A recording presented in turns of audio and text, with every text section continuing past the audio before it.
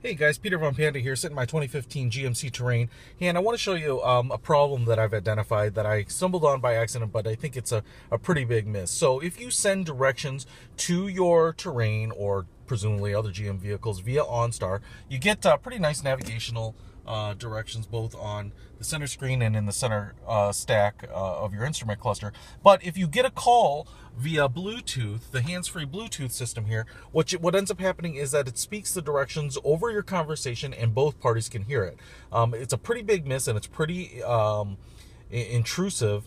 And on top of that, there's no real really elegant way of canceling the turn-by-turn directions without actually canceling the phone call too. So, uh, unfortunately, kind of like uh, if you use Apple Maps with directions and you get a call, the nice thing is Apple Maps will give you a ding, which is not audible to the people on the other line, and then it will just give you the visual cues, cues on the screen, which uh, this system does not. So, I'm going to demonstrate this by calling uh, my lady, and uh, I'll have her on the other line while I've while I input some directions into the GMC, and we start driving it around, and you can see that um, the party on the other line can hear it and it becomes really annoying when you get you know turn left in 100 yards turn left now continue straight and you get a, a series of instructions that just continue to to pepper your conversation. So um, pretty annoying. I'll show it to you right now.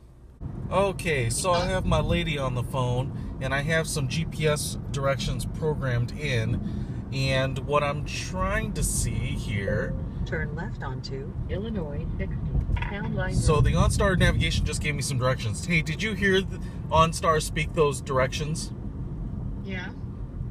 Of course you did. Because for whatever reason, GM doesn't mute or um, uh, uh, remove the OnStar voiceover instructions while a call is going on. So pretty big miss there. I don't know what they could have done. Uh, they should be muting out or canceling out the instructions driving um, when you get directions from the OnStar navigation system, or they should just give you a beep and let you uh, use the visual cues on either the the center LCD or the center stack here. So that's that's a complaint. And keep in mind, if you're driving with navigation directions and you answer the phone, whoever's on the other line is going to hear it all. Peter Von Panda out.